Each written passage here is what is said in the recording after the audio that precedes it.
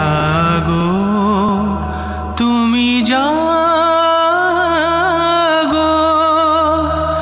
জাগো দুর্গা, জাগো দশ প্রহরণ ধারিণী।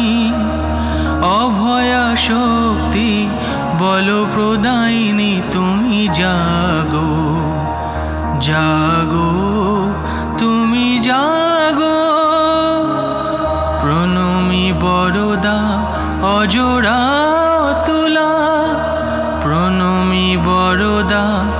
অজোড়া তুলা বহু বল ধারিণী রিপুদল মারিণী জাগো মা। জাগো তুমি জাগো।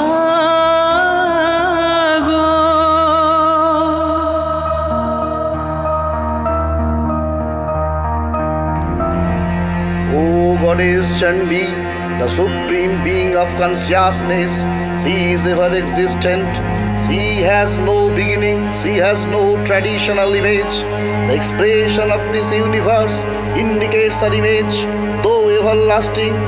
She makes her advent in order to save gods and goddesses from the oppression of the demon here goes our everlasting message. Ityang yada yada vadha danavatyan bhavishvati tada tadavati ayaham karishyamuri shanshayam. On the dissolution of the earlier universe, during the deluge, when the whole world was transformed into the creative water, Lord Vishnu mobilized his entire power and influence, and God himself quite obeyed in his self-absorbed trance on the sea of that water. Towards the end of that trance, Brahma was born. Out of the lotus-like navel of Vishnu, but the two demons, Madhu and Kaitava, born out of Vishnu's air roots, were about to destroy the years together with the whole existence of Brahma.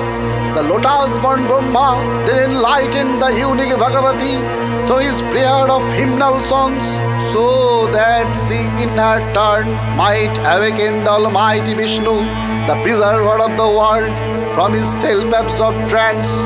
This enlightened Bhagavati, the destroyer of the earlier world stability, the mother and goddess of the universe, the inhabitant in the eyes of God Hori, resembled Yoga Nidra Devi.